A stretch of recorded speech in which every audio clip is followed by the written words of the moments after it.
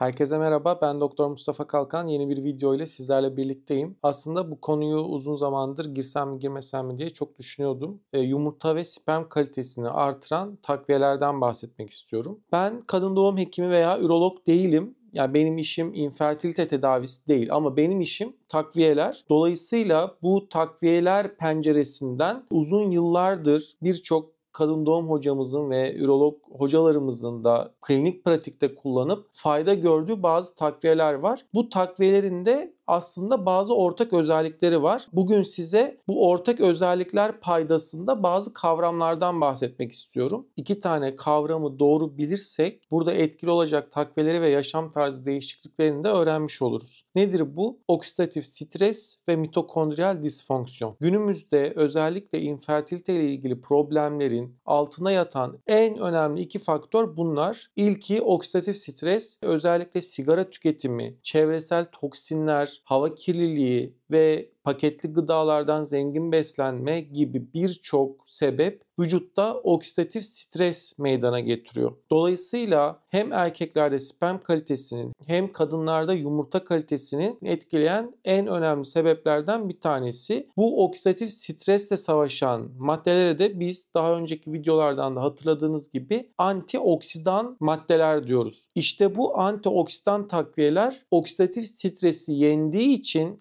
haliyle yumurta kalitesinde ve sperm kalitesi üzerinde de bize fayda sağlamış oluyor. Bir diğer problem ise mitokondriyal disfonksiyon. Mitokondri bildiğiniz gibi enerji üretimimizden sorumlu temel organelimiz. İşte enerji üretim yolaklarında bir problem meydana geldiğinde dokular yeterince enerji sentezleyemiyorlar ve mitokondriyal disfonksiyon dediğimiz bir tablo meydana geliyor. Yumurtalık ve sperm de vücudumuzda en çok enerji ihtiyacı olan dokuların başında geliyor. Haliyle mitokondriyal disfonksiyondan da ilk etkilenen dokular bunlar oluyor. Biz işte bu enerji üretim yolaklarında görevli bazı takviyeleri oyuna dahil ettiğimizde de yumurta kalitesi ve sperm kalitesi üzerinde fayda görmekteyiz. Şimdi bu iki madde üzerinde de etkili olan bir molekül var. Bu da koenzim Q10. Koenzim Q10 hem mitokondride enerji üretim yolaklarında direkt olarak görevli bir moleküldür. Aynı zamanda da çok güçlü bir antioksidandır. Oksidatif stresle savaşır. Dolayısıyla hem yumurta kalitesi üzerinde hem sperm parametreleri üzerinde yapılan birçok çalışma bulunuyor koenzim Q10'la ilgili olarak. Rutin pratikte de biz koenzim Q10'dan bu alanda oldukça fazla fayda görmekteyiz. Hatta Human Reproduction Update isimli kanıt düzeyi yüksek bir dergide yayınlanan sistematik meta analizde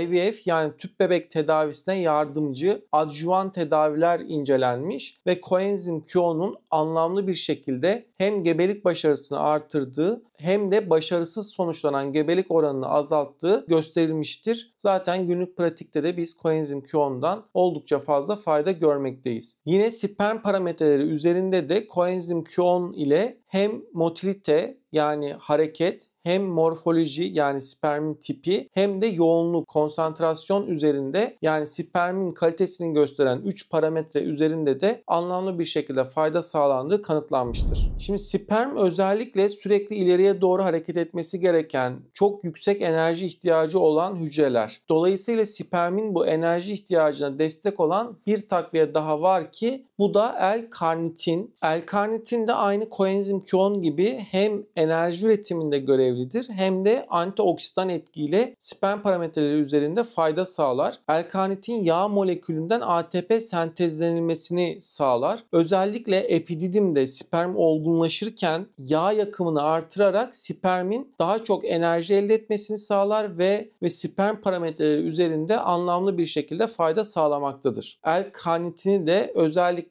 erkeklerde sperm parametrelerini desteklemek amacıyla hayata dahil edebiliriz. Tabi hem kadında hem erkekte antioksidan dediğimizde akla gelen antioksidan olarak oksidatif strese savaşan başka bazı moleküller de var. Antioksidan deyince aklımıza gelen En başta gelen vitaminler nedir? C vitamini, E vitamini, A vitaminidir. Aynı zamanda resveratrol çok güçlü bir antioksidan, bitkisel bir moleküldür ve alfa lipoik asit hatırlarsanız daha önce bununla ilgili bir video çekmiştim. Antioksidanların antioksidanıdır demiştim. Alfa lipoik asit de vücudumuzda görev alan en güçlü antioksidanlardan bir tanesi. Son olarak bir parantezle de özellikle polikistik over sendromu varsa yumurta parametreleri üzerinde fayda sağlayan bir molekül olan inositolden bahsetmek istiyorum. Daha önce polikistik over videosunda detaylı bir şekilde zaten anlatmıştım. Özellikle insülinin vücutta görev almasında görevli bir moleküldür. Her hücrede aslında sağlıklı hücrelerde de doğal olarak bulunan bir moleküldür. Ancak polikistik over sendromlu kadınlarda yapılan çalışmalarda bu inositolün görevini doğru yapamadığı gösterilmiştir ve mioinositol ile dekroinositol oranının vücutta bozulduğu gösterilmiştir. Özellikle polikistik over sendromlu kadınlarda günde 4 gram mio ve dekroinositol kombinasyonu kullandığımızda mio inositol miktarı daha yüksek olmak üzere yani 40'a 1 gibi bir oranda anlamlı bir şekilde hem polikistik over semptomlarında fayda sağladığı aynı zamanda yumurta kalitesinde desteklediği gösterilmiştir. Biz günlük pratikte de inositol kullanan PCOS hastalarında doğal yoldan bile gebe kalma gözlemleyebilmekteyiz. İnositol de bu alanda etkili moleküllerden bir tanesi. Detaylı bilgi için de PCOS videomu kesinlikle izlemenizi tavsiye ederim. Evet yumurta ve sperm kalitesi üzerinde özellikle oksidatif stres ve mitokondriyal disfonksiyon terimleri çerçevesinde fayda sağlayabilecek takviyelerden bugün sizlere bahsetmeye çalıştım. Takviyelerle ilgili detaylı bilgiyi tarafımca kaleme alan akılcı bilimsel takviye rehberi isimli kitaptan okuyabilirsiniz. Aynı zamanda beni Instagram DR Mustafa Kalkan sayfasından da takip edebilirsiniz. Gelecek videolarda görüşmek üzere. Hoşçakalın, sağlıkla kalın.